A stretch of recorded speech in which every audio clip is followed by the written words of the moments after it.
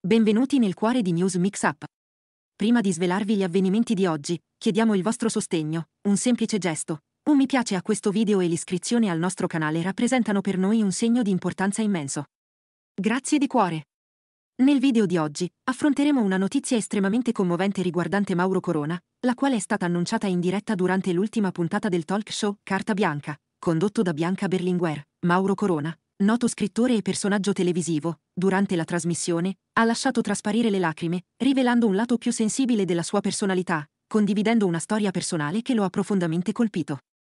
L'emozione di Corona è scaturita dalla scomparsa di un giovane ragazzo di nome Lorenzo. Visibilmente commosso, ha raccontato, in una puntata recente abbiamo cercato di aiutare un ragazzo di nome Lorenzo. Gli avevo parlato tramite la trasmissione e gli avevo mandato un goffetto profumato per fargli compagnia e dargli energia.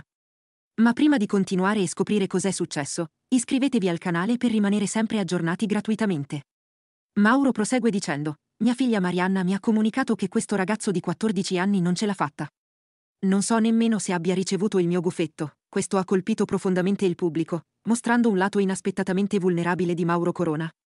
Riflettendo sulla brevità della vita, soprattutto quella dei giovani, affermando che la vita umana è un romanzo. Qualcuno ha 100 pagine, qualcuno 40.